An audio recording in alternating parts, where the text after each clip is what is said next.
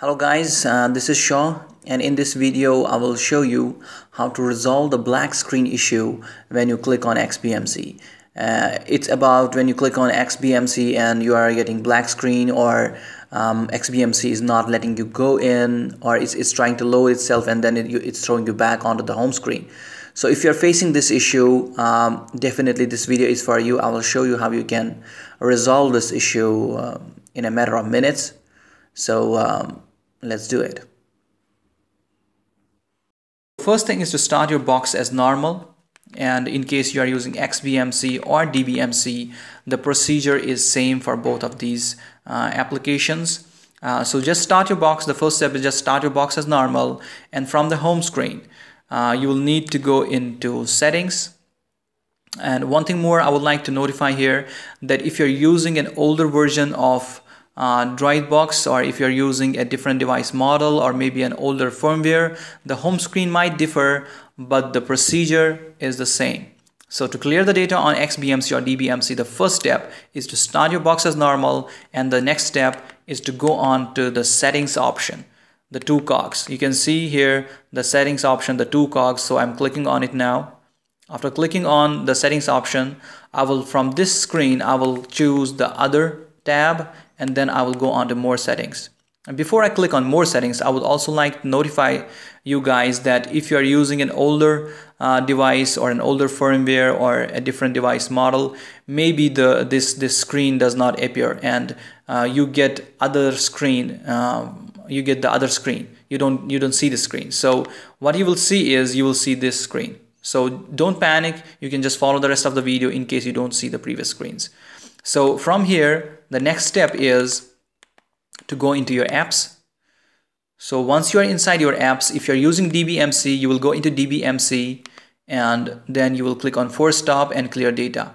But I'm not using uh, I'm not using uh, DBMC. I'm using XBMC uh, Media Center on the home screen. Uh, so inside uh, in the list of the apps, it is known as Kodi.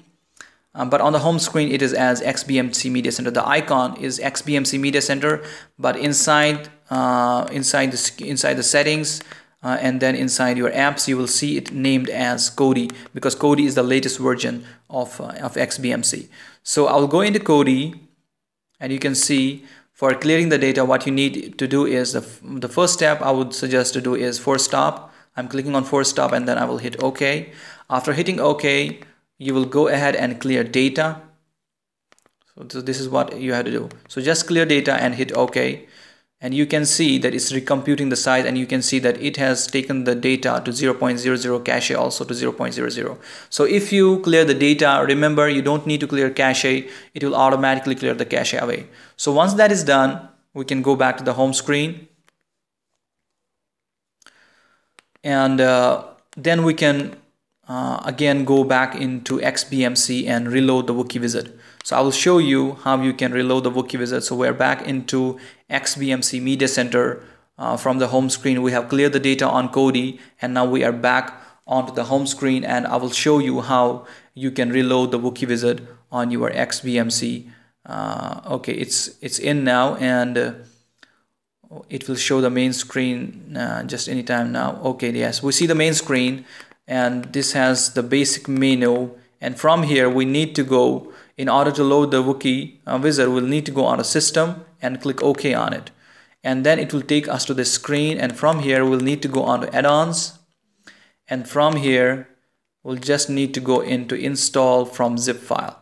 Once we click on install from zip file it will show us this uh, this drop down this pop-up window with all these options. And from these options you can select the Wookie wizard just select the Wookie wizard. Once you select it you will it you will see another option that is click me scum to the Wookie wizard. And just hit ok. After selecting this just hit ok. After you hit ok you will see a notification in the bottom right corner that we will see just anytime now. We should see as uh, we should see a notification telling us that that Wookie add-on is enabled. You can see that now we're seeing this notification that Wookie add-on is enabled.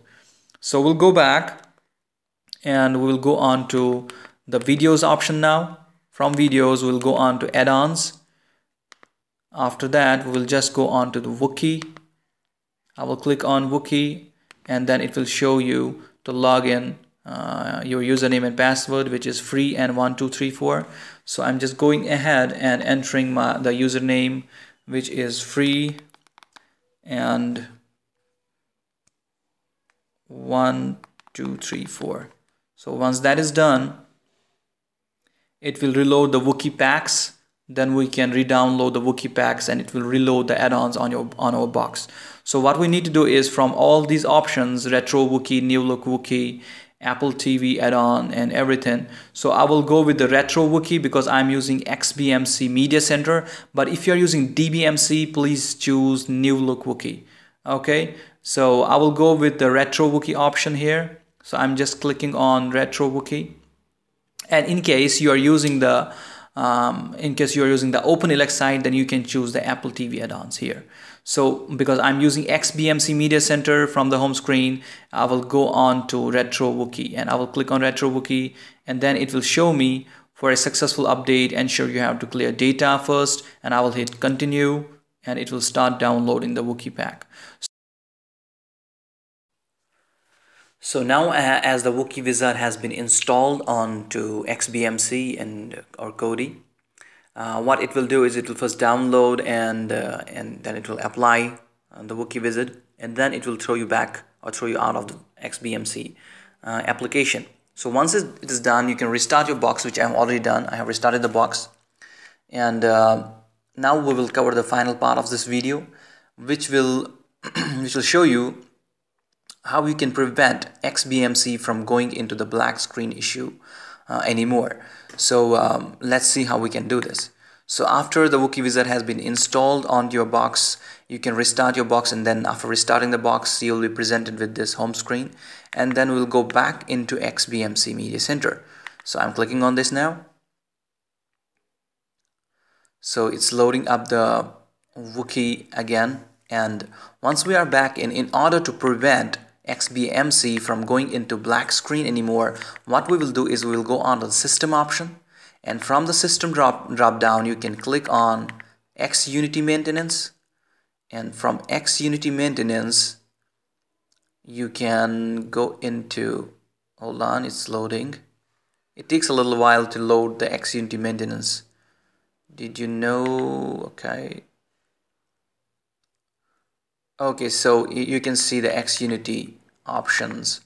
There is maintenance there is fixes and a lot of other options. We'll go into tweaks here at the bottom left corner. We'll go into tweaks.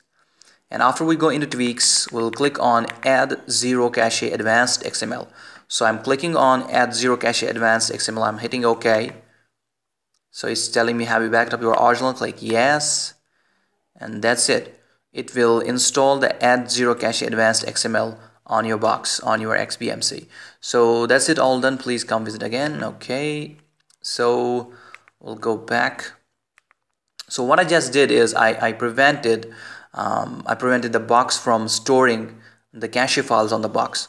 Uh, usually the black screen happens because uh, the cache files are stored onto the onto your box and um, they are not cleared away uh, so I am just I have just with, with this tweak with this add zero cache advanced XML it will prevent the cache files from being stored onto the box. And one thing more when you when you exit uh, XBMC or you are done watching a movie or a TV show or whatever you are you're doing inside XBMC so once you try to exit XBMC please use this button.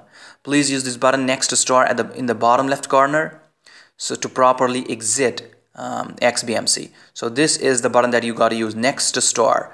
So I'm clicking on this. I've clicked on it. It takes a little while to take it out of out to the main screen, but this is the proper way of doing it. This is the proper way of exiting XBMC. So in case um, uh, there is uh, you are exiting XBMC, you are done you have you are done watching movies, you are done watching shows um, you can exit XBMC with that option. So it has taken a little while, few seconds, and then it has taken back us to the main screen. So this is all for this video.